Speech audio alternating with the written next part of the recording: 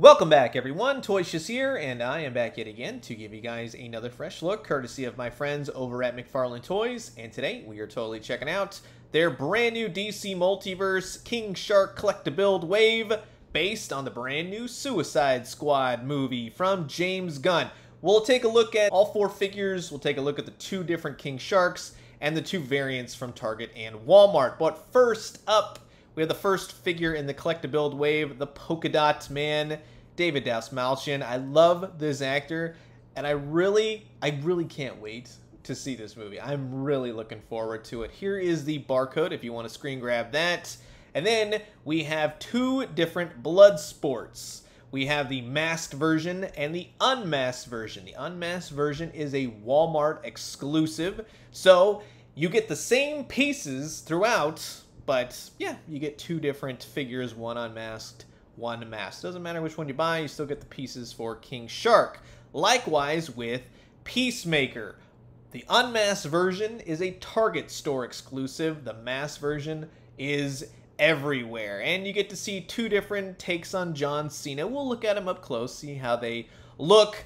And like all the other figures that have doubles, same exact packaging except one's black and white, yada yada. And then here's the two barcodes. Again, the Unmasked Peacemaker is a Target store exclusive, which finally leaves Harley Quinn. And yeah, of course, everyone's to want Harley Quinn, right? She's the star of Suicide Squad and her own movie. Won't get into that. But you can see the package. You can see all the different pieces when you finally get her. If you got all the rest, yeah, you can put together the massive King Shark. Barcode attached. And like I said, we'll take a look in depth at the brand new Walmart exclusive gold label King Shark along with the rest. So sit back, relax, grab yourself a nice hot cup of coffee. This is a look at the brand new McFarlane Toys DC Multiverse, the entirety of their brand new King Shark Collect-A-Build wave from the Suicide Squad.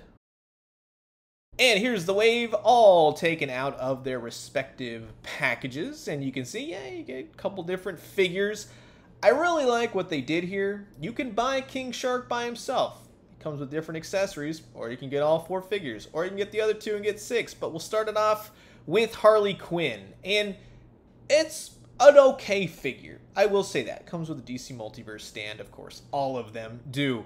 She's in her dress from the trailer. She's got various tattoos all over her, and it's done well. They're very clear, they're very crisp. I like how that they are applied. I like the way the dress is sculpted. I like this figure in the sense of you're pretty much looking at what you see on screen, and the detail is there. And she comes with this weapon, or it's a stick, or it looks like I think it's the staff or something from the movie. We'll find out when we all see it. But I would have honestly preferred to have her, of course, in this costume. Not the dress. But we're just going to have to look at it anyways, because that's the figure that we got. But if we get one eventually, I'll definitely be happy with that. For the articulation on her, she actually has some pretty good head rotation, right? You get up, down, goes all the way up, looks down. I like her little pigtails. You got black and white amidst the blonde. She has butterfly joints right there. Will give her a lot of range of movements. And she has bicep swivel. She's got double jointed elbows, tattoos and all. Everything moves, right? And then she has the ball jointed wrists, which of course they stick out a little bit on her, especially with flesh. Now, there is some sort of an ab crunch mechanism inside of the rubber piece of her dress, and she will spin at the waist, especially if you kind of grab her. It just doesn't work all that well with the ab crunch, so it's kind of non existent, to be honest with you. The legs, you can see the system right there. They will sort of get caught around the dress. So they're kind of hindered by it. She's got double jointed knees. You'd think she'd spin at the boot, right? No. She's got nice ankles, nice toe articulation, so that all works. And she stands pretty nicely. I say always with McFarlane Toys, it kind of goes either way, especially with the ball jointed feet. But use a stand if you want to be on the safe side. With Bloodsport, I actually really like this figure. And the fact is, I don't have a Bloodsport figure. Of course, comes the DC Multiverse stand, and he's really nice. Blue and orange, right? He does come with these swords. They're okay, just the way that they, I'm sure that's what they look like in the movie, but when you see them like this, they're kind of flexible material. But I really like the look of Bloodsport. I like all the tactical gear, and I like all the paint. He's very crisp. He's got like an alien dome, right? Like a xenomorph thing going on, and I actually really like that. So very, very cool. It's kind of soft, mid the mid section. Now, he does kind of have that McFarlane diaper thing that some figures get, especially you kind of see it on the back. It's not as bad as, say, the Nightwing figure that I've talked about before, but in articulation, really nice, looks all the way up, looks to the side, really nice movement out of the head. He does have ball jointed shoulders, so you'll get some nice movement out of him, especially when going off to the side and up, and he's got bicep swivel, double jointed elbows, and of course the wrists, which are hidden really nicely by these cool gauntlets. I like the gauntlets on his forearms right there, so that works. He spins at the waist. He does have an ab crunch. He goes back more because it's like such a thick rubber piece. You don't get much in the front ways, right? You can make him do the splits, so you can have him kick out. It'll work with you in the crotch piece. You have double jointed knees, go easy. They're a little stuck, a little hard once you get kind of, you know, going with them. They'll free up a little bit. Nothing at the boot, and he's got some nice rotation at the feet and the toes, and so the articulation works. Now to see the other version, the Walmart version, the unmasked Idris Elba version, it's okay. It doesn't really look like him to me, but he does have some nice articulation in the head, if you were wondering, but it is the exact same figure. So you have to ask yourself, which one do you want? You know, it really kind of is a toss up, but I really do like the domed version, to be quite honest with you. Next up is John Cena's Peacemaker. And from everything I've seen from the trailer, this guy is hilarious. Comes with a DC Multiverse stand right there.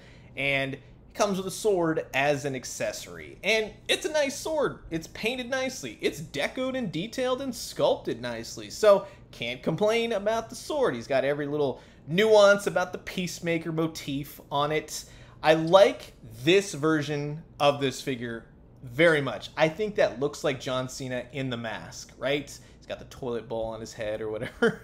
they say the reds and the blues are crisp. He looks like he walked right out of the movie. So in that sense, I do really like this figure. And like Bloodsport, they don't have this figure. They don't have any type of figure for these kind of characters, right? Up, down, left, right for the rotation. In the head, he does have butterfly joints. They're in there you can't really. I mean, you're gonna have to get in there to really see them kind of up close. But yes, they are in there. I wouldn't say they do much. You get a lot of rotation just in the arm itself, so it's cool they added it in there. Now the double jointed elbows, they look a little wackadoo. I will say that. It looks like there's parts of his arm missing. That's what happens, I think, when you have flesh.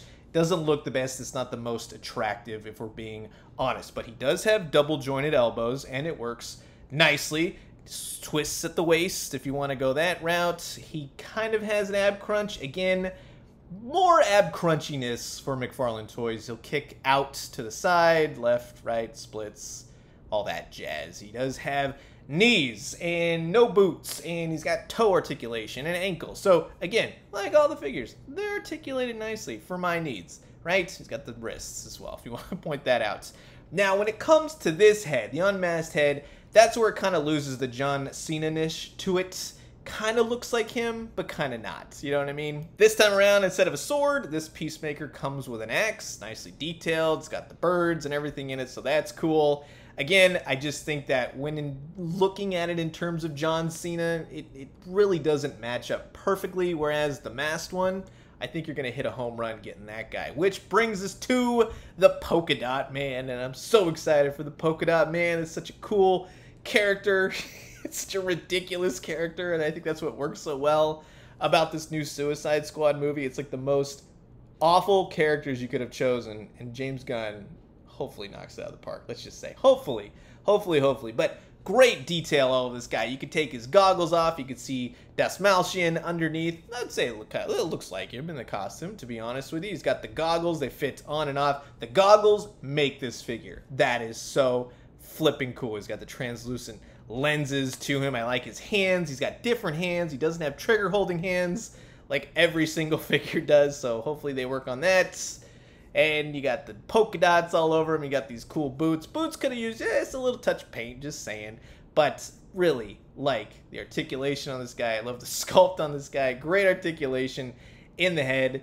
You're not going to take this one from me. I don't care. I've been waiting for this guy ever since they announced him. I think that that's amazing. He does have more of an ab crunch than most figures, though. No butterflies on him. He does have bicep. He's got double jointed elbows. He's got these big gauntlets on him. You know, I'm assuming that's where his polka dot powers and stuff come from. The wrists are hidden, so it looks nice. And again, really nice hands, twists at the waist. Nice belt, sculpted nicely, kicks out, does the splits, goes out. You get the idea on articulation at this point. It works for me. I don't mind it for the kind of style and the posing and everything else I do on my shelves. It works. If you're a big fan of articulation, you need super articulated A-OK number one. No, usually McFarlane Toys is not going to be the one for you. He comes with the polka dot powers, which is amazing. It clips onto his wrist. I love this thing. This is amazing. Now, he does come with an extra gauntlet. No idea what this is for. Perhaps a character in the movie gets one and gets his powers and helps him out. These don't come off. There's no sense in switching them out. So if you know, help me out. Which brings us to the collectible giant mamma jamma himself, the King Shark, the collectible version. There's a Walmart version as well, also on my YouTube, but he'll show up in this video in just a second. I've already gone over articulation. I like this one's shorts as well. Really nice wash on them, nice blue. Done great. Peg holes on the bottom of his feet. Excellent jaw articulation. Excellent head articulation on the sculpt of this figure. It is very, very cool. I love the way it turns, the way the teeth move. The gut, the upper diaphragm is a bit wonky. Same thing on the other one. It's the same figure. He will cut into his stomach a little bit. This kind of gets gappy because it was a collectible figure this time around, I had the pieces to take photos, and you can clearly see, yeah, it's a little hollow in some instances. So they fit, they don't fit, but just be careful when you move them around. Don't go too far. Don't stress or stretch anything. Same thing with the legs. There are knees, there's articulation in the legs, but because his shorts are so thick and rubbery, it really hinders it. So I'm to be honest with you, no, he basically just stands for the kind of articulation. If you're looking for, you know, mega super articulated, it's not to be for you. You can see the difference between the two. Super bloodied version or just regular king shark. Same thing with the shorts. And I really like the design on the Walmart version. I like all the teeth, everything. It's a it's a nice change of pace depending on which one you want to go for. Do you want to collect all the figures and build them yourself? Or do you only want some of the figures and buy this version? it's nice that you kind of have that option. You can see the difference in the washes, paint, deco differences here and there, but they are largely the same figure, except for the fact that Walmart Gold Label 1 comes with severed body parts, and that is the most amazing Spawn McFarlane thing ever.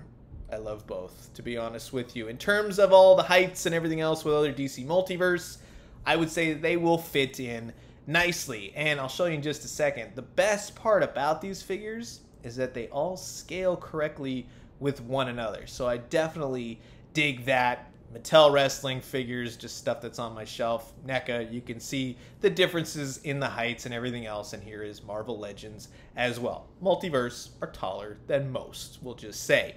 Now, for the King Shark, you can see other collectible figures. He is billed as being the largest collectible figure right there on the box, of course.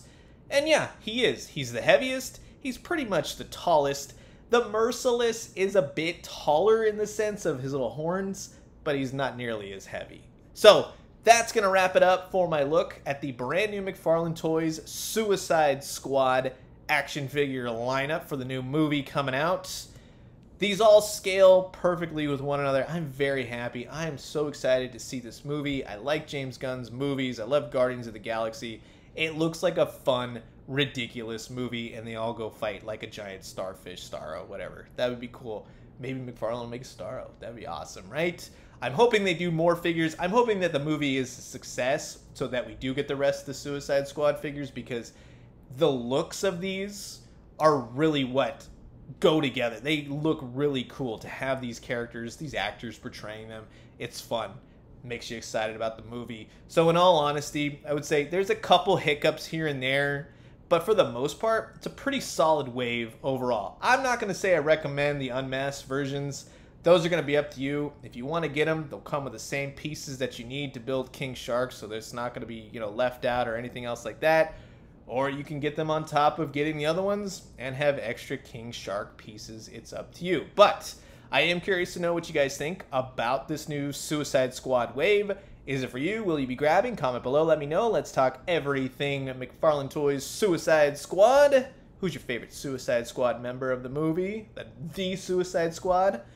Not Tahi Suicide Squad. And thank you again to McFarlane Toys for sending this over to give you guys this fresh look And I'm going to leave you guys with that. As always, drink some great coffee, eat some great food, but most importantly, remember, I hope everyone is having a fantastic San Diego Comic-Con at home 2021. It is what it is, but let's hope Comic-Con is back in action next year. And when you do, let me know what you found. I'll talk to you guys soon. Adios.